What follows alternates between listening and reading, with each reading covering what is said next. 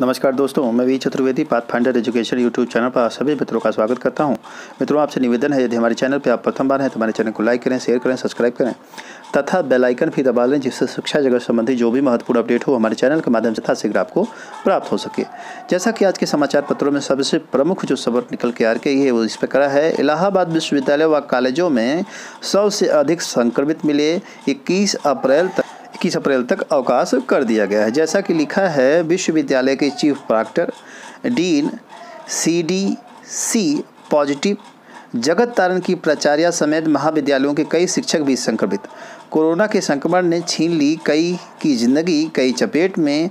मुक्त विश्वविद्यालय में भी सत्रह अप्रैल तक रहेगा अवकाश। तो इस तरह से आप देखेंगे कि कोरोना का संकट काफ़ी घनता चला जा रहा है और विश्वविद्यालय भी इससे परेशान हो गया, सौ से लोग अधिक संक्रमित हो गए हैं।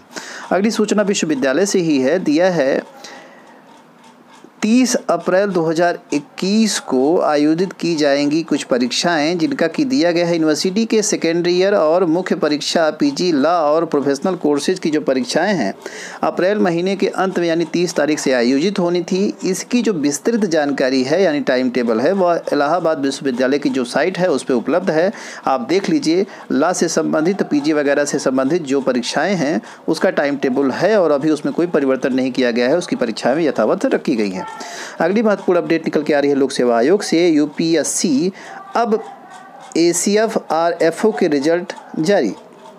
उत्तर प्रदेश लोक सेवा आयोग ने अब ए सी एफ़ और आर एस ओ के रिज़ल्ट की बारी की तैयारी कर रहा है। आर एफ़ ओ के 12 पदों पर भर्ती के लिए पूरी हो चुकी है इंटरव्यू प्रक्रिया। यानी जल्द ही इसका भी रिज़ल्ट आ जाएगा। और आप देखेंगे कि जैसा कार्यप्रणाली है उत्तर प्रदेश लोक सेवा आयोग की, वह जल्द ही इसको रिज़ल्ट इसका भी रिज़ल्ट दे देगी। अगली महत्वपूर्ण अपडेट निकल के आ रही है आर परीक्षा से संबंधित।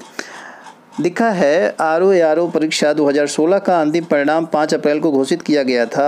भर्ती के 303 पदों के सापेक्ष 260 अभ्यर्थी सशर्त सफल हुए थे। चयनित अभ्यर्थियों के आवेदन पत्र पर समस्त शैक्षिक अभिलेखों का सत्यापन 22 से 24 अप्रैल तक किया जाएगा। मंगलवार को सत्यापन का पूर्ण कार्यक्रम जारी कर दिया गया है। तो जो भी अभ्यर्थी लोक सेवा आयोग में सफल हुए हैं, उनकी जो सत्यापन का कार्य होगा अफ्रीकों का, वह आप जान दीजिए 22 से 24 अप्रैल के बीच में होगा। आगे दिया है, सीबीएसई बोर्ड दसवीं की परीक्षाएँ रद्द, बारहवीं की टली। आप सभी जानते हैं कि कल सीबीएसई बोर्ड ने बारहवीं की परीक्षा की जो तारीख है, उसे टालते हुए और दसवीं की जो बोर्ड परीक्षा है, उसको रद्द कर दिया। अब एक जून को समीक्षा के बाद तय होगी विद्यार्थियों को पंद्रह दिन का मिलेगा समय। तो इस तरह से बारहवीं की जो परीक्षा है उस पर अभी एक जून को पर, जो समीक्षा बैठक होगी उसके बाद निर्णय लिया जाएगा कि ट्वेल्थ की परीक्षा का क्या करना है। जबकि जो दसवीं की बोर्ड परीक्षाएँ हैं वह निरस्त की जा चुकी हैं। अब इन सारे अभ्यर्थियों को प्रमोट कर दिया जाएगा और इनकी परीक्षाएँ नहीं होगी। हालाँकि इसमें यह भी बात कही गई कि अगर कोई अभ्यर्थी इच्छुक है तो वह परीक्षा भविष्य में दे सकता है, क्योंकि ग्रेडिंग आधार पे यहाँ पर जो है आपको अंक दिए जाएँगे, जो प्रीवियस ईयर की परीक्षाएँ हुई हैं, या फिर प्रैक्टिकल आदि हुए हैं। लिखा है, नई दिल्ली विश्वविद्यालय बोर्ड ने, यानी सीबीएसई बोर्ड ने, देश में बेकाबू हो रहे कोरोना संक्रमण के मद्देनजर दसवीं की परीक्षा रद्द की और बारहवीं की टाल दी है। बारहवीं की परीक्षा का पर फैसला एक जून के बाद होगा, लेकिन कोरोना के कारण परीक्षाओं के शेड्यूल में बदलाव करने वाला सीबीएसई पहला बोर्ड नहीं है। कई राज्यों ने बोर्ड्स के छात्रों को राहत देते हुए ऐसे फैसले लिए हैं, जिसमें मध्य प्रदेश, छत्तीसगढ़, पंजाब, महाराष्ट्र, तमिलनाडु जैसे राज्य भी शामिल है। तो आप देखेंगे कि अकेला सीबीएसई बोर्ड नहीं, लगभग हमारे देश के बहुत से ऐसे राज्य हैं जो कि इससे प्रभावित हैं कोरोना संकट से, और जिसकी वजह से, कोरोना की वजह से जो बोर्ड परीक्षाएँ हैं, वह बहुत से जगहों की कैंसिल की गई हैं। अब बात आती है उत्तर प्रदेश माध्यमिक शिक्षा बोर्ड की, यानी यूपी बोर्ड की। तो उत्तर प्रदेश माध्यमिक शिक्षा बोर्ड देश का सबसे बड़ा शैक्षणिक बोर्ड है। यूपी बोर्ड की परीक्षा में छप्पन से सत्तावन लाख अभ्यर्थी परीक्षा देते हैं। 24 अप्रैल से प्रस्तावित बोर्ड परीक्षाओं को पंचायत चुनाव के मद्देनज़र स्थगित कर दिया गया। आठ मई से कराने का निर्णय लिया गया। तो आप देखेंगे कि बोर्ड परीक्षाओं का पंचायत चुनाव के मद्देनज़र स्थगित कर आठ मई से कराना था, जो कि हाई स्कूल बोर्ड की परीक्षा आठ से पच्चीस मई और इंटरमीडिएट की परीक्षा आठ से शुरू होनी थी, यानी आठ मई से। अब यह संशय लग रहा है कि यह परीक्षाएँ शुरू हो पाएँगी क्योंकि कोरोना संकट गहराता चला जा रहा है। वहीं जो दिनेश शर्मा जी हैं, उनकी बात देखें, जो उप मुख्यमंत्री हैं बिगड़ते हालत को देखते हुए यूपी बोर्ड की जो स्कूल, हाई स्कूल और इंटरमीडिएट की परीक्षाएँ हैं, मई में शुरू होनी थी, लेकिन टालने अब तय हो गई हैं। सीबीएसई की हाई स्कूल की परीक्षा रद्द किए जाने के बाद, इंटर की परीक्षाएँ स्थगित किए जाने के बाद, अब यूपी बोर्ड की परीक्षाओं का निर्णय लेना है। विद्यार्थियों की निगाहें लगी हैं। उप मुख्यमंत्री डॉक्टर दिनेश शर्मा ने कहा कि कोरोना के ऐसे हालत में यूपी बोर्ड की परीक्षाएँ भी टलेंगी। कुल मिलाकर के ज़्यादा उम्मीद लग रही है कि यूपी बोर्ड की भी परीक्षाएँ टल जाएगी, क्योंकि हालत अच्छे नहीं लग रहे हैं। वैक्सीनेशन का भी लाभ कम मिल पा रहा है और कोरोना एक नए रूप में गंभीर होता चला जा रहा है। अगली महत्वपूर्ण अपडेट निकल के आ रही है, यूपी मेट्रो की लखनऊ, कानपुर व आगरा के लिए दो सौ बानवे पदों पर होने वाली भर्ती लिखित परीक्षा सत्रह अप्रैल को आयोजित होनी थी, जो कि अपने निर्धारित समय पर आयोजित होगी। कोरोना संक्रमण को देखते हुए यूपी मेट्रो सभी अभ्यर्थियों को परीक्षा केंद्र पर कोविड किट देगा, जिसके लिए वह एक सौ बीस रुपये चार्ज भी करेगा और जितने भी प्रोटोकॉल हैं कोविड नाइन्टीन के, उसका पालन करते हुए परीक्षा कराई जाएँगी, क्योंकि इसमें अभ्यर्थियों की संख्या लगभग सड़सठ हज़ार के करीब है। इस कारण छोटी संख्या होने की वजह से यह परीक्षा आयोजित की जा रही है यथासमय। अगली महत्वपूर्ण अपडेट निकल के आ रही है। सात दिन में दस लाख मरीज़, चौबीस घंटे में हज़ारों की गई जान।